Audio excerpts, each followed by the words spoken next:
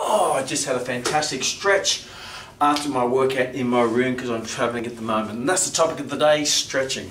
A lot of people say we need to stretch the muscles and you're exactly correct, you do stretch the muscles.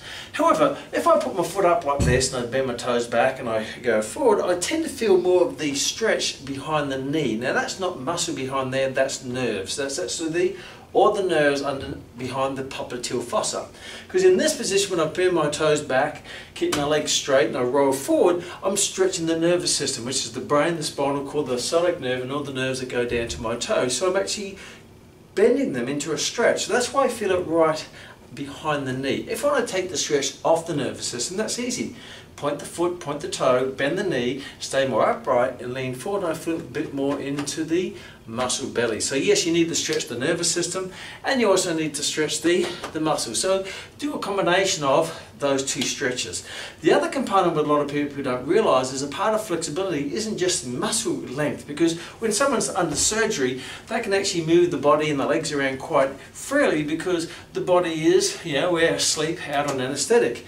So the other component that stops the muscles from overstretching are your sensory organs. In this case, particularly the muscle spindle. So as you already know, the muscle spindle, its role is to uh, how can I say, it monitors the rate of lengthening of muscle. So if a muscle lengthens too quickly, too too much, it will counter-contract the muscle, tell the muscle to counter-contract so you don't tear it.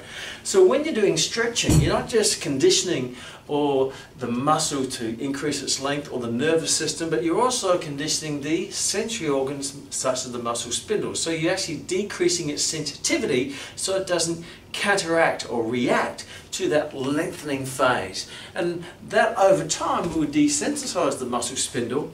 Therefore you can take the muscle to a greater length without activating that little fuse, like in the fuse in a fuse box, which says, okay, shut it down, this can be dangerous. So what you're doing is you're increasing the length of the muscle before it actually activates the muscle spindle to tell the muscle to counter contract to protect it from overstretching and tearing and injury. So which allows the body to go even further into its range of motion.